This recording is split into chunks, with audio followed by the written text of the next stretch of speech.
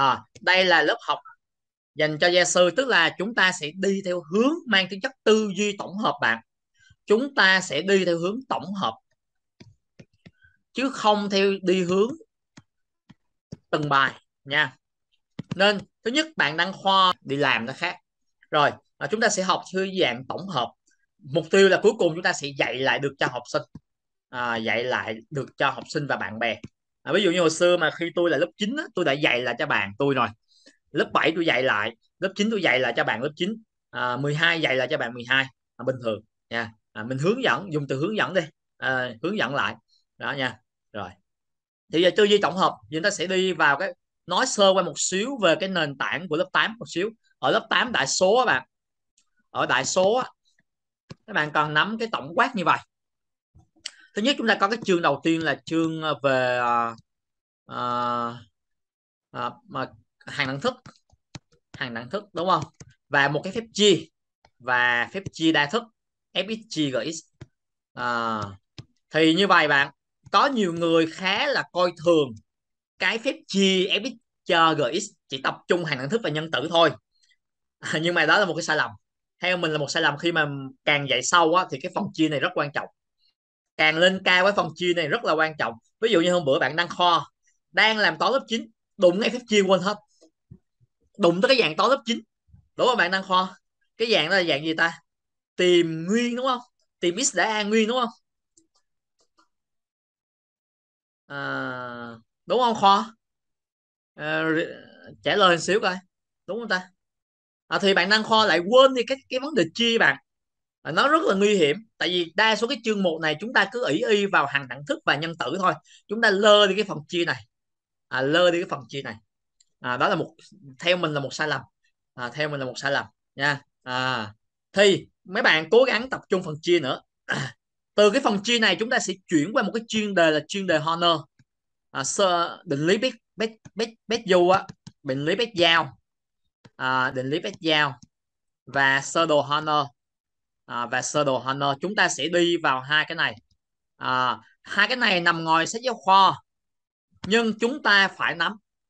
Bắt buộc phải nắm bạn. Tuy nó nằm ngoài sách khoa nhưng nó rất là phổ biến. Nó cực kỳ phổ biến trong vấn đề thi cử đặc biệt là thi vào lớp 10 à, hay là ôn thi cho học sinh vào lớp 10 hay là mấy bạn thi vào lớp 10 thì cực kỳ quan trọng bạn. Cái kỹ thuật nó cực kỳ quan trọng quan trọng. Nó giúp cho mấy bạn phân tích hình nhân tử cực kỳ nhanh. À, à, cực kỳ nhanh. Rồi đặc biệt lên cấp 3 nữa thì càng phải vận dụng nó thì mình sẽ hướng dẫn các bạn. Muốn hướng dẫn các bạn. À, bạn nào chưa vững thì yên tâm mình sẽ hướng dẫn. Nha cực kỳ đơn giản. Được chưa? À, rồi. Ở cái phần lát nữa mình sẽ hướng dẫn các bạn cái hàng đẳng thức á. Thực ra cái hàng đẳng thức á à, các bạn có thể hiểu nắm được hết rồi. Nhưng làm sao để đưa cho cái đứa học sinh hay đứa bạn của mình ví dụ mình dạy cho bạn của mình đúng không? Bạn mình cùng lớp mình đi. Nó mất kiến thức thì mình làm sao để cho nó hiểu cái hàng đẳng thức? Và nhìn thấy được hàng thức học thuộc công thức là một chuyện bạn rất là đơn giản nhưng mà vận dụng cái công thức đó đúng không? Ví dụ như à, 1 phần 2 y bình trừ 3 tất cả bình là bắt đầu nó đuối rồi đó. Bắt đầu nó đuối rồi đó. À, mày cứ áp dụng công thức đi. Nhưng mà bây giờ vấn đề nó xác định ab không đúng. Cái nguyên tắc nhiều nhiều nơi mình đã theo rồi là không chịu cái bước đầu tiên đó, để có thể nhìn được cái hàng đẳng thức là bạn phải chọn AB trước. Phải tập quen với việc chọn AB và hướng dẫn học sinh chọn AB bắt buộc phải tập cho nó điều đó chứ không phải là ráp công thức ráp công thức không? Không phải. Phải nhìn trước cái này. À, hồi xưa thì mình cũng dạy theo hướng kiểu như là bình như mấy bạn đang suy nghĩ đó. À, cho tới năm từ lớp 7 năm 1999 á cho tới năm 2000 không bạn hình dung từ 1998 cho tới năm 2011 mình mới phát hiện ra một cái cách dạy hàng đẳng thức mà học sinh yếu nó vẫn tiếp nhận được. Bạn hình dung bao nhiêu năm? 13 năm đi dạy hàng đẳng thức dạy rất là tốt hàng nhận thức mình rất là vững nhận thức. À, nhưng mà thực ra cuối cùng cái phương pháp đó nó chỉ hợp với học sinh khá giỏi thôi. Học sinh yếu một cái trung bình một cái không thể nào nó áp dụng được nó cứ sai lên sai xuống biết thôi. Sai lên sai xuống biết. Nên nó có một cái cách khác. À, cách khác mà à, và học sinh yếu mình đã rèn từ 21 cho tới hai tới năm 2022 gần như cái cách này đều có hiệu quả với tụi nó. Trừ tụi nó quá lười thì tụi nó cố tình thì thánh cũng dạy không nổi thì cái là bó tay thôi đúng không? À, với học sinh lười á à, cố tình lười thì mình còn một phương án cuối cho mấy bạn. Nếu các bạn có đi dạy kèm. Thực ra cái chuyện học sinh ở đây ví dụ mình dạy một đứa học sinh đó tụi nó đi dạy kèm lại kiếm tiền rồi. À, rất là nhiều nha. Rất là nhiều trường hợp học sinh ở chỗ mình là đi dạy kèm kiếm tiền rồi nha. À, à ví dụ nó lớp 9 là nó kèm cho mấy đứa lớp 7 lớp 8 rồi. Thậm chí kèm kèm lại cho bạn trên lớp thì nó không lấy tiền ví dụ nó nó, nó thương cô nào đó hay cô nào đó thương ai đó thì kèm không lấy tiền không nói chuyện. Còn nó kèm lại cho mấy em út ở hàng xóm là nó đã có được tiền rồi nha nó đã có được tiền rồi. À, thì phải rèn thế nào? À, rèn thế nào? Đúng không? Mình sẽ nữa mình sẽ hướng dẫn các bạn cách làm nha. À, và với học sinh lười mà dạng có cái sự cố tình lười. À, chào anh chào anh Nguyễn Ánh. À, à, cố tình lười. Thì á, lát nữa em gửi file nha tại do đang tập trung dạy. Em gửi file sau em gửi file. À, à, cố tình lười á uh, gửi file lớp 9 PDF uh, còn lớp 8 thì thật sự hơi có một cái xui là không còn PDF không còn file Word nữa. Hồi xưa bị bị bị thất thoát cái file mất ổn kinh khủng. Bây giờ dùng cái phần mềm tải qua Word thì thật ra nó cũng bị lỗi ghê lắm. Nên sử dụng PDF là cái gì mình sẽ Word lại sau nha chịu khó. À, hoặc là mình sẽ kiếm một cái cái nguồn mình sẽ làm cái tài liệu khác à, để hướng dẫn các bạn. Và để mấy bạn có file Word rồi chỉnh sửa đi dạy nữa đi kèm gia sư đúng không? Đi kèm gia sư kiếm tiền bình thường nha. Và mình sẽ gửi cái à, bản điêu giá của mình với phụ huynh cho mấy bạn tham khảo. Nha mình sẽ gửi sáng giờ bận quá chưa gửi chưa gửi chắc gửi riêng á chưa gửi vào group được đâu. Gửi riêng cho những bạn đang dạy thôi. À, tại vì group thực ra vẫn nó vẫn mang tính chất là thử à, học thử chưa có chính thức nha chưa thể gửi được. À, đang đang nói tới đâu rồi ta? À, à cái gì ta? Đang nói cái chuyện gì trước khi xong qua cái chuyện uh, đang chết cha rồi. Sáng giờ dạy liên tục cái não nó bị sao à, à cái gì ta? Theo bạn. À, nền tảng theo. À, đây tiếp tục về chương 2 bạn về mặt chương 2 thì chúng ta học về cái phân thức. Cái phân thức các bạn chúng ta không cần dạy nhiều chúng ta với những bạn đi dạy thì không cần dạy nhiều. Với những bạn học đừng học nhiều. Đừng học từng tiết trong đó không cần. Bạn đừng học từng cái tiết. Ví dụ trong cái chương 2 nó có 8 tiết bạn đừng học từng từng tiết. Mình bày cho bạn trong vòng 5 phút thôi bạn học hết toàn bộ chương phân thức. Và có thể dạy cho học sinh hết toàn bộ chương phân thức. Ví dụ như tối nay nè nó đơn giản như vậy nè bạn. Bạn chỉ cần nói như vậy nè. Em học phân số chưa? Em học phân số rồi đúng không? 3 trên 5 đúng không? À thì em học phân thức thì nó như vậy thôi. Phân thức á, là nó như vậy nè. Phân số á, thì tử và mẫu đều là những con số. Nhưng phân thức á, là tử trong tử hoặc mẫu sẽ có chứa biến x. Ví dụ x phần 2 à, 2 phần x hay là cả tử và mẫu đều chứa biến thì gọi là phân thức. À, nó chỉ khác nhau ở chỗ gì? Bên kia toàn bộ 100% là con số. Còn bên này nó có sự thay đổi phải có chứa biến phải có chứa biến thì người ta gọi là phân thức nó chỉ khác nhau ở chỗ đó thôi. Và phân thức nó chứa luôn cả phân phân số. Phân thức nó chứa luôn cả phân số. Vì 2 phần 3 cũng là phân thức. À 2 phần 3 cũng là phân thức. À nó chứa luôn cả những tất cả những phân số. Và nó có một sự khác là gì? Tử và mẫu trong hai ông phải có ít nhất một ông chứa biến thì gọi là phân thức. Đầu tiên nó hiểu, nó sẽ ngộ ra được điều đó em nó sẽ hiểu được phân thức là gì rồi. À bắt đầu nó nó quay về cái quá khứ, nó tìm hiểu về cái phân số. Nó tìm hiểu phân số. Sau đó chỉ cần nói thêm một đầu nữa thôi. Khi em làm bài tập về phân thức tất cả mọi tư duy, một trăm phần trăm tư duy, một trăm phần trăm kỹ thuật, em làm giống y chang bên phân số. Là xong. Là xong bạn. Là nó, đứa học sinh đó, nó đã có một sự bao quát về phân thức cả chương phân thức rồi không cần nói nhiều nữa. Sau đó chúng ta đi vào từng tiết cho nó làm bài tập về kiến thức như đó thôi. Không nói nhiều nữa. Không cần nói nhiều. Với học sinh yếu chúng ta tới đó thôi. Với học sinh yếu chúng ta tới đó thôi. Để nó có cái nhìn bao quát, có cái nhìn bao quát về phân thức bạn. Và mình làm điều này cho nó một cái nhìn bao quát về phân thức thông qua phân số. Ok, nó lỡ quên kiến thức phân số thì học lại từ đầu phân số. Học phân số rồi học qua phân thức chứ không có học phân thức bạn hiểu không? Rồi. Vậy thì à, bạn mình một phân tích cho chúng ta đi tiếp đi tiếp. Bắt đầu chúng ta sẽ qua học kỳ 2 bạn. Qua học kỳ 2 qua học kỳ 2 nắm được cái nền tảng bạn dạy rất là nhanh. À, à, xin lỗi. Sau khi mà nó đã có cái nền tảng về về về về phân thức rồi thì chúng ta sẽ làm thế nào? Đó là chúng ta bắt đầu sau khi nắm được lý thuyết rồi nắm cái lý thuyết bao quát cho đứa học sinh nó có cái nhìn bao quát về lý thuyết rồi. Chúng ta bắt đầu đi vào từng tiết học cho nó làm bài tập. Trong quá trình làm, chúng ta sẽ hướng dẫn nó kỹ hơn về lý thuyết bằng cách. Nhưng vẫn phải theo cái mô tiếp là gì? Nó giống như phân số. Đừng có thay đổi nữa. Khi bạn đã xác định cho nó cái đi nền tảng cái hướng là nhìn từ phân số chuyển qua phân thức thì khi luyện bài tập, các bạn phải sử dụng cái tư, giữ nguyên cái tư duy đó.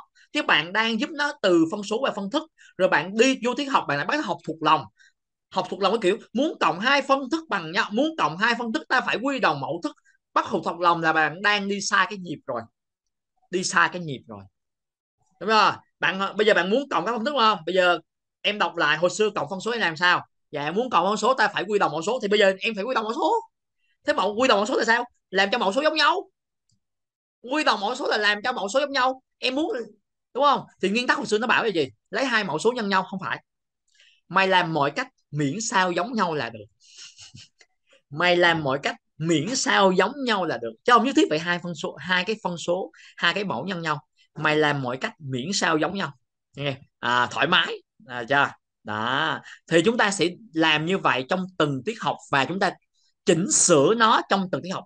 Tại vì khi nó có cái bao quát về lý thuyết rồi là lỡ mà chúng ta dạy chưa kịp kiến thức á, thì nó vẫn với những đứa mà đã có nền tảng em mà lỡ trên trường dạy nhanh hơn mình thì nó vẫn làm việc bài tập vì nó biết à làm giống như phân số. Cứ giống phân số mà làm, đúng không? Cứ giống phân số mà làm thì nó tự động nó làm được bài tập. Tự động nó làm được bài tập. Nha, rồi tiếp tục. Qua bên học kỳ 2 học kỳ 2 đây là học kỳ 1 rồi đấy em. Học kỳ 2 tôi sẽ dạy giúp mấy em, giúp mấy bạn học trong vòng khoảng 10 phút là xong cả cái chương này. Cả học kỳ 2 thôi cho cho tôi 15 phút đây. Cho tôi 15 phút.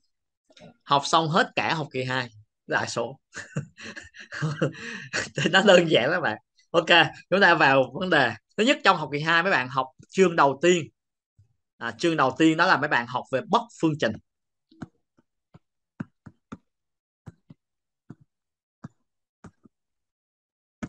Cái chương này là bất phương trình mà nó có bất đẳng thức. Nhưng mà bất đẳng thức thì nó là một mảng chuyên sâu chúng ta từ từ nói chuyện trước chúng ta từ từ nói về vấn đề đó. Nó là một mảng chuyên sâu. Và khi mình dạy chương này mình bỏ cái bất đẳng thức qua một bên mình dạy vô thẳng bất phương trình luôn. Sau đó nó vững rồi đã có cái điểm thi đã mình mới quay lại dạy bất bất đẳng thức. À, bạn hiểu vấn đề vậy. À, bạn làm như vậy nè. Bạn cho nó ví dụ bạn nói bây giờ chúng ta có phương trình. Ok chưa? Có phương trình. Ví dụ tôi lấy ví dụ. X cộng 3 bằng 0 bạn nhìn mình dạy bất phương trình trong vòng 5 phút nha, bà. Thằng thằng Hoàng Nam sẽ học hết cả năm luôn rồi. Nếu học xong cái tiết, cái cái video ngày hôm nay là Hoàng Nam học cả sách giáo khoa luôn rồi. Khỏi cần nửa quyển rồi đúng không? Nửa quyển sau học năm phút thôi. Nha, nửa quyển sau. Còn bất đẳng thức là một mảng chuyên đề. Em cứ học sách giáo khoa đi, rồi tôi sẽ hướng dẫn một chuyên đề chuyên sâu. Em biết cái bất đẳng thức nó phương trình và phương trình như thế nào bạn bạn nhìn. Bạn nhìn mình dạy. Bây giờ bạn nói nó phương trình trước, rồi bạn mới nói bất phương trình sau. Từ phương trình bạn đẩy qua bất phương trình được chưa? Rất là đơn giản các bạn. bây giờ x cộng 3 bằng mấy? À bằng không thì em giải sao? Có phải giải x bằng 3 không? À, đúng không? Nó giải x bằng trừ 3 cái này học sinh yếu nó cũng biết mà. Đúng không bạn? Học sinh yếu nó cũng biết. Đúng không? Rồi xong bây giờ chúng ta đẩy qua bất phương trình. Vậy em nhìn nè. Tôi cho x cộng 3 lớn hơn không? Thì em giải phương trình như thế nào? Em giải bất phương trình y chang vậy chẳng qua em giữ là cái dấu lớn hơn thôi. Bên kia dấu bằng bên này dấu lớn hơn. À em làm y chang vậy cho tôi. À, dặn học sinh đó đúng không? Em làm y chang vậy à, làm y chang cho tôi. Em giải phương trình thế nào? Em giải phương trình y chang cho tôi. À, y chang. Nhưng mà tất nhiên nó sẽ có một cái sự khác biệt. Mình chỉ nói cái sự khác biệt thôi. Còn những cái điểm giống á mình nói nhau giống thì cứ làm y chang. Còn có một sự khác biệt thì mình nói sự khác biệt.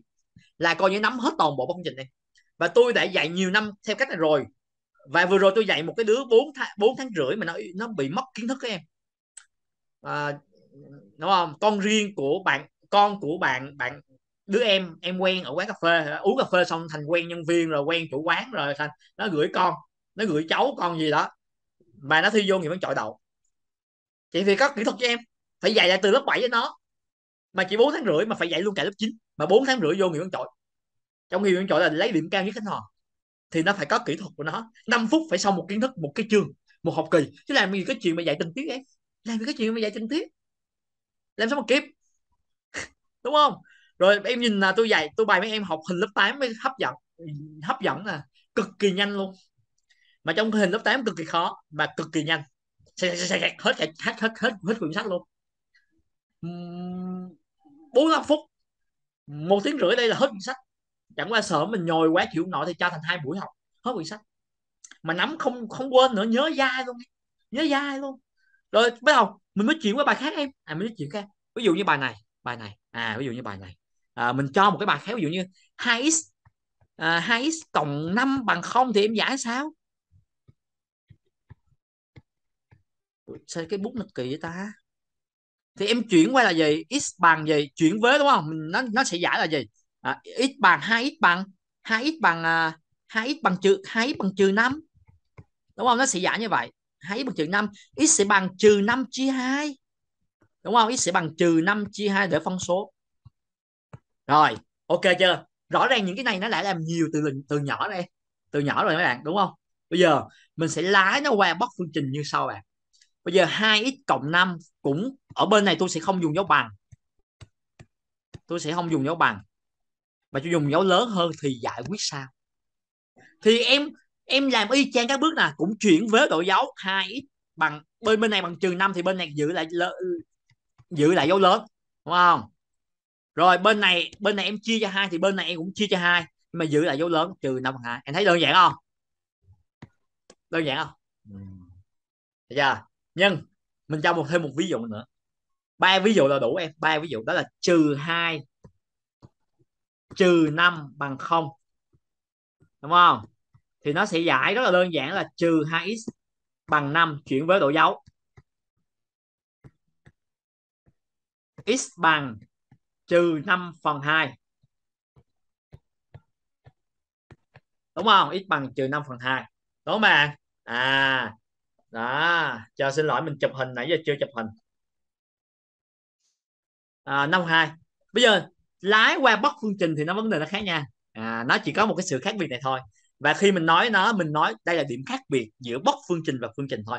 Chỉ khác một phần trăm thôi. Còn 99 phần trăm xua luôn là giống nhau. Mày làm giống y chang tay tao. Hồi xưa mày giải sao mà cái làm như vậy? Nhưng mà đùng tới cái chỗ này một phần trăm mày lưu ý xíu. Là đảm bảo làm chuẩn hết một trăm phần trăm em. Chuẩn hết một trăm phần trăm. Nha đó là gì? Nếu ta đẩy lên nếu ta đẩy lên là lớn. Ủa, sao hôm nay cái kỳ với ta? Rồi. Biết nó có bị lỗi gì không ta? Hồi chiều vậy lớn hơn không em? Bây giờ lớn không thì giải sao? Cũng y trang vậy. Chuyển vế đội dấu à chuyển vế đội dấu đúng không? Bắt đầu. Bước ba là gì có phải là chia không? Chia nè chia nè. 5 chia trừ 2 nè. Cũng y chang chia trừ 2 vậy y chang chia trừ 2 nhưng lúc này mình sẽ lưu ý học sinh cái bất phương trình nó có một phần trăm khác với phương trình ở chỗ này khi mày chia cho số âm, mày phải đảo chiều. À mày chia cho số âm, mày phải đảo chiều. Hay là nó em phải đảo chiều. Xong, hết bài. Chỉ khác đúng một chỗ thôi. Chia hay nhân cho số âm, em phải đảo chiều. Chấm hết. Toàn bộ chương trình bất phương trình của học kỳ 2 không còn gì nữa để học. Sau đó, nó có cái nhìn bao quát rồi. Có cái nhìn bao quát rồi, bắt đầu lá nó vô làm bài tập lá nó vô làm bài tập. Nãy giờ bạn thấy đúng 5 phút không? Tôi đếm đồng hồ rồi 5 phút. Hết chương trình. Cho nó có cái nhìn bao quát rồi em. Khi nó nhìn bao quát rồi, bắt đầu em lái vô bài tập, em sửa từng bài tập kỹ thuật của nó thì nó sẽ cực kỳ vững. Vững cực kỳ luôn. Em hình dung không? Vững lắm, vững luôn. Được chưa? Rồi. Còn giải toán bằng cái lập phương trình bất phương trình thì nó có một loại tư duy thôi ở lớp 8 giải toán phải lập phương trình hay là bất phương trình hay giải toán phải lập hệ phương trình? Hay là lập phương trình bậc hai? Giống nhau về mặt tư duy giống nhau. Không khác gì hết á. Thì mình sẽ hướng dẫn các bạn về cái kỹ thuật đó về cách kẻ bảng nhìn một phát là ra không có khó khăn đâu. Mấy cái loại đó không khó khăn. Nha nó có tài liệu hết á. Ok mấy bạn hình dung vấn đề chưa? Học kỳ 2 rồi.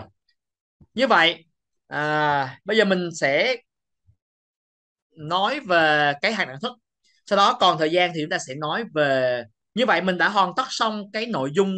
Thì bạn thấy một điều là gì? Những cái này giống y chang cái cũ thì chúng ta không cần học nữa. Vô là mà tập luôn.